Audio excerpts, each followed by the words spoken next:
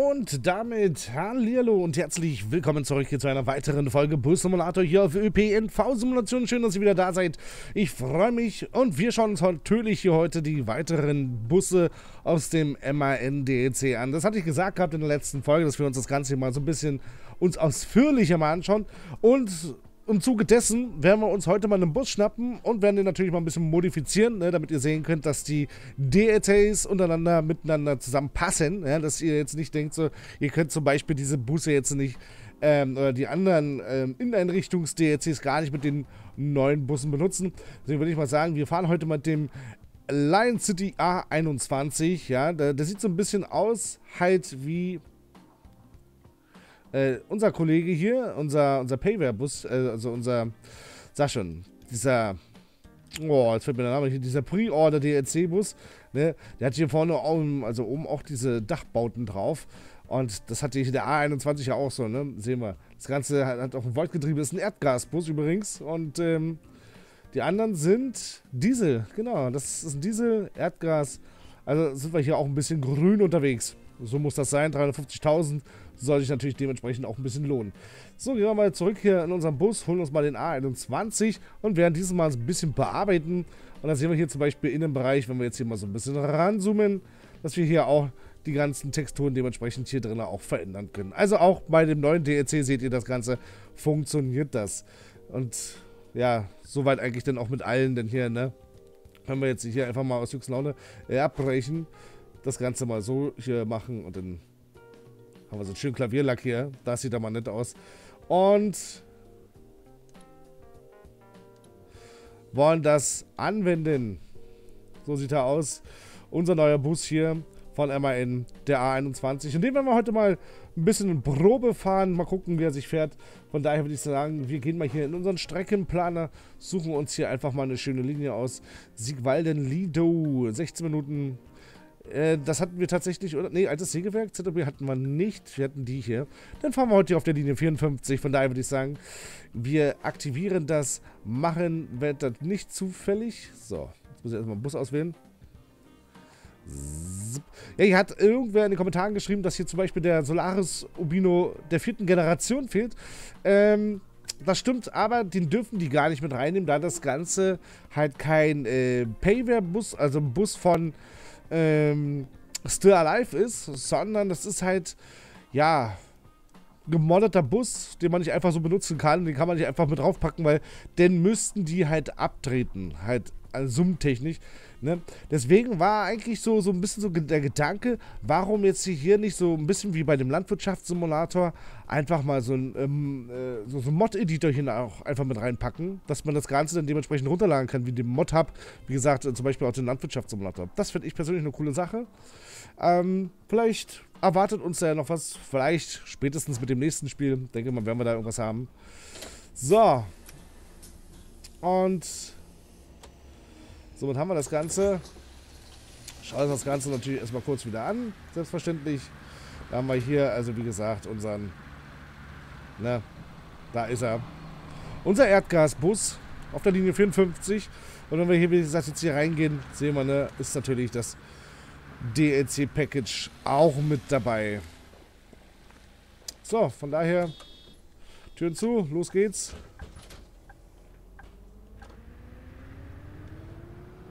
Auch hier unten ist wieder das Radio links.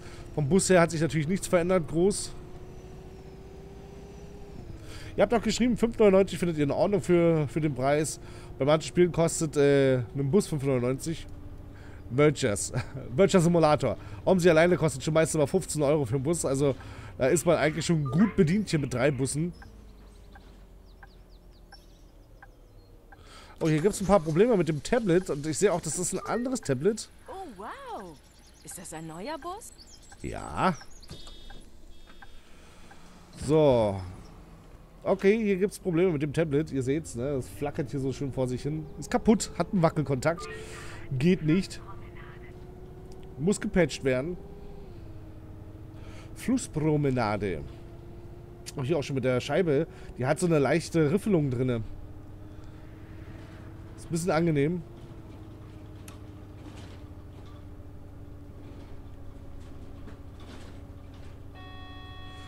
Dude.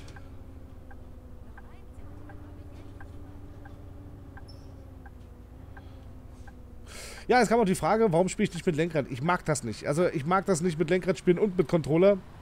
Da kann ich auch gleich mit dem Controller spielen.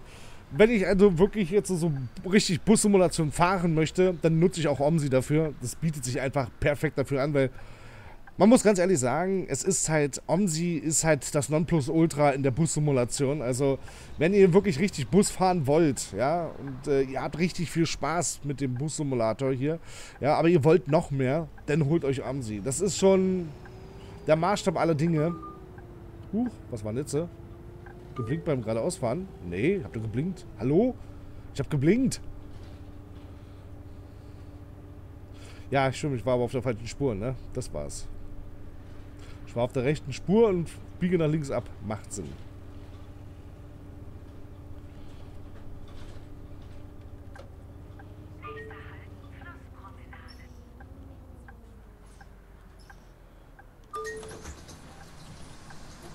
Ja, also wie gesagt, da nutze ich natürlich dann auch das Lenkrad dafür. Aber wie gesagt, jetzt für die Bussimulation oder sowas, ne? Ähm, Habe ich das nicht ausgemacht? Ach nein. Wollen sie wieder alle Tickets... Oh Gott, jetzt habe ich auch noch zu viel Geld rausgegeben.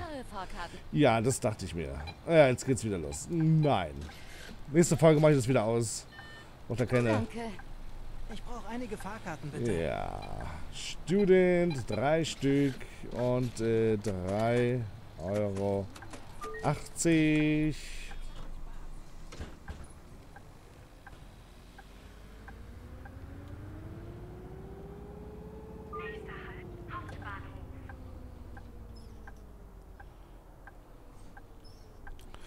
Ja, ähm, also wie gesagt, da kann ich dann absolut nur Omsi wärmstens ans Herz legen.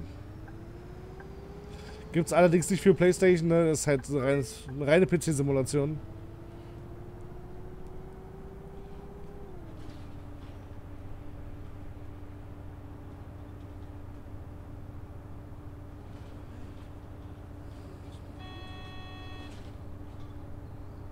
Aber jetzt hat sie es gefangen, ne, mit dem Tablet. Also, keine Ahnung, was das da war.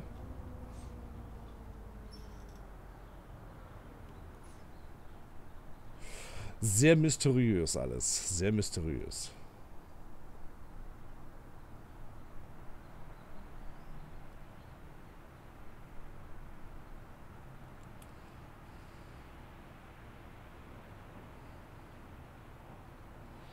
Auch hier natürlich wieder eine Sonnenblende. Fenster.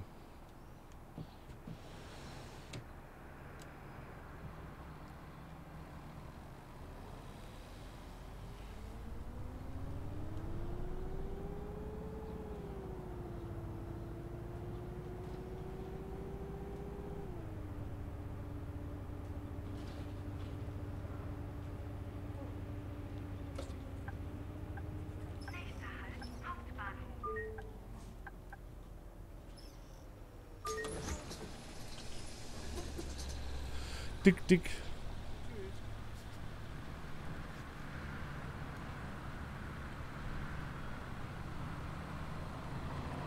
Hallo.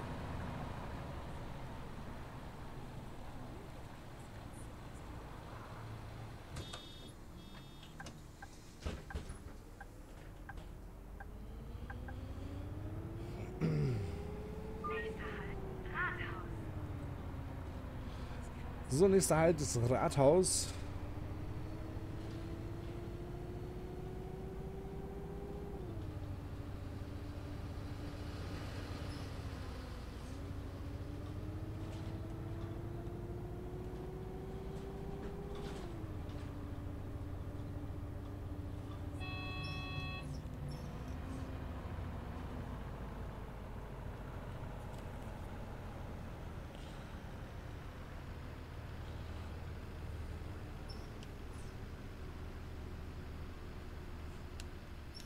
So. Solltest dir echt mal die Aussicht am Hafen ansehen.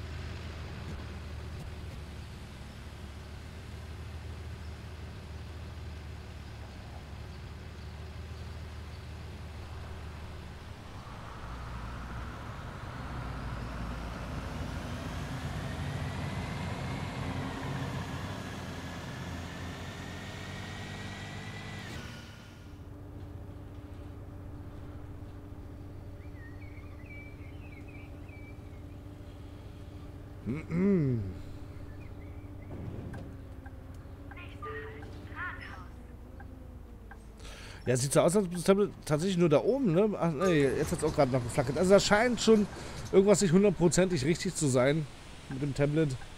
Das ist mir tatsächlich bei dem anderen Bus gar nicht so aufgefallen. Eine Fahrkarte bitte. So, einzelnen Standard äh, drucken. Dir echt mal die Aussicht am Hafen ansehen. 2 Euro. Dass es hier immer noch so langsam ist. Danke. Eine Fahrkarte bitte. Äh, einzeln, Standard, drucken. Danke. Bitteschön. Türe zu. Und weiter geht's. Nächster Halt, zentraler Busbahnhof. Endstation. Bitte alle aussteigen. Sind angenehme Längen tatsächlich für, den, für eine Folge.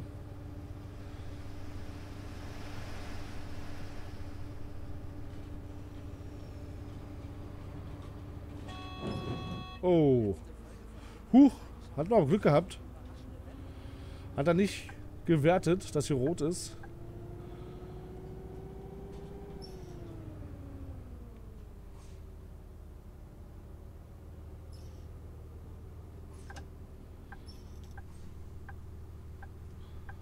So, dann gucken wir uns in der nächsten Folge natürlich den Gelenkbus an aus dem MRN Bus DLC.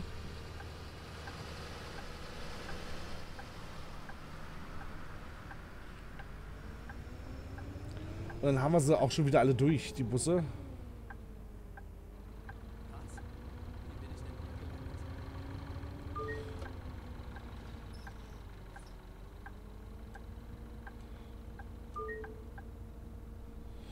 Dann bin ich ja mal gespannt, wann es denn jetzt weitergeht. Also es kann wirklich alles nicht mehr allzu lange dauern. Haltebucht 3. Dass wir wahrscheinlich schon mit dem der Kartenerweiterung rechnen können. Und dann werden wir natürlich wieder voll zu lang. Das werden wir natürlich durchspielen. So wie wir es jetzt schon bisher machen. Ne? Sehr pünktlich. Danke. Bitteschön. Sehr pünktlich. So, alles aussteigen, alles ausgestiegen. So, sieht gut aus. Ne, Also, das ist er. Das ist also der neue Lion City Erdgasbus von MAN.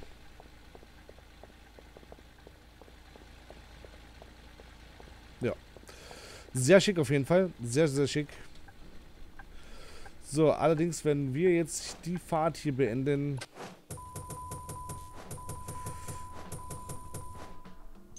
...19.000 haben wir bekommen. Wundervoll.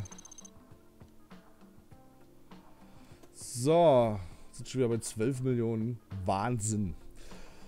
Also das ist schon absolut fantastisch. Ja, also wie gesagt, dieser DLC, den findet ihr natürlich hier im Spiel. Jetzt mittlerweile hat man ja hier den Shop eingebaut, sodass ihr das Ganze jetzt auch hier kaufen könnt.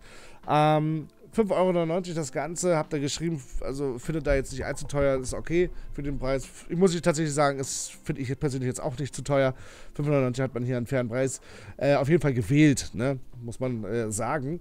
Ähm, sonst gibt es hier an der Stelle soweit nichts zu sagen. Wir werden uns halt in der nächsten Folge schauen wir uns dann dementsprechend noch den letzten Bus an und das ist äh, dieser Kollege hier, der Lion City A23 als Gelenkbus.